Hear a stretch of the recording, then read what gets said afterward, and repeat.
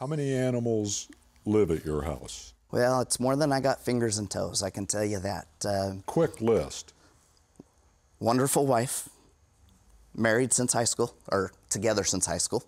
Got married, been together forever, have a 12 year old little girl, same as my wife, loves animals. We go out of town, we got to go to a pet store to see what kind of animals they got. So every day I come home, there's something different at the house. You just never know what it is. Uh, just got us a golden retriever, got an English bulldog with one eyeball. Uh, we have two chihuahuas.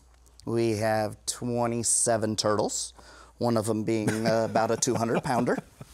Uh, we've got lizards, we've got frogs, we've got aquariums, we've got cats. Then we go to work, and my wife has a cat kennel.